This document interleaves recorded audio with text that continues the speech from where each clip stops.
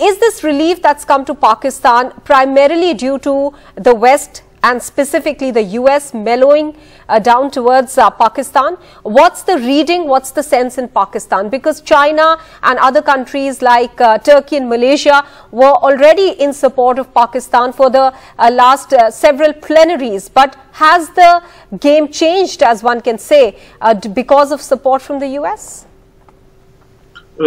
yes, it you can partly say that, and but it's been a combination of factors.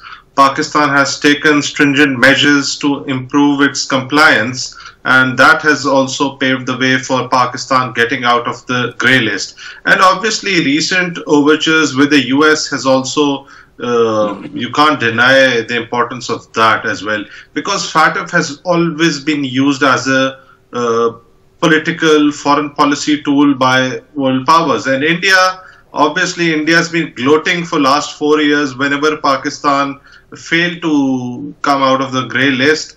But this time, actually, I think uh, there is a lot of. Uh, uh, I think I don't know how Indians are responding to their whether they are skeptical, whether they are worried, or maybe there is uh, they consider it to be something unfortunate, which shouldn't be the case. Neither you should be celebrating or uh, being sorry about it.